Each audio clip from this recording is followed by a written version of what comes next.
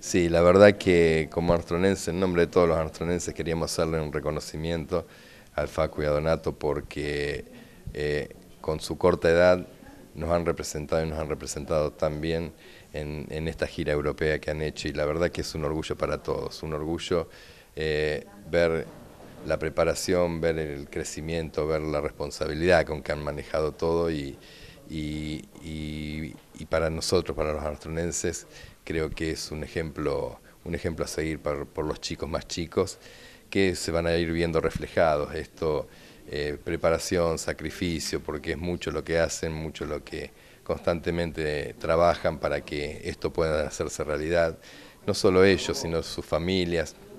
eh, la, comisión del patín, el club, el club brindando un espacio, o sea, es mucho el esfuerzo que hacen eh, eh, todos los, dirigentes del club para poder tener un espacio para que ellos puedan practicar y la verdad que, que todos estos resultados, toda esta gente trabajando, bueno, ellos lo hayan tomado con la responsabilidad, con la seriedad y con, con el compromiso que tienen, que uno los ve y uno los ve tan chiquitos y, con tanto compromiso y con tantas ganas de dar y con tanta emoción ¿no? Eh, a la hora de,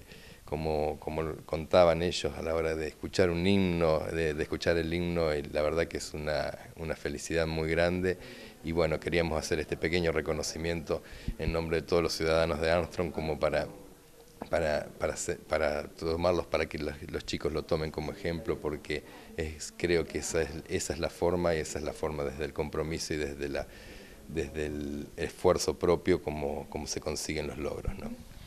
Más allá de este reconocimiento que por supuesto es valedero y el agradecimiento que también realizaban las mamás de los chicos, ¿es posible que a raíz justamente de todo esto se pueda conseguir quizás también una partida económica que es justamente importante para el respaldo de esta u otras disciplinas de chicos que tengan competencias en el extranjero? Sí, es, verdad, o sea, normalmente a través de la provincia se, se suelen conseguir. Eh, el problema es que al no ser categoría olímpica estaban eh, en estos momentos todavía son muy chiquitos y, se está, y está costando mucho conseguir ese tipo de, apoyos. Seguramente se van, se van a seguir haciendo todos los trámites, todas las tramitaciones para que para poder tener justamente eh, algún solvento porque es muy, es muy duro para las familias, muy duro para, para todas las personas cercanas, eh, para poder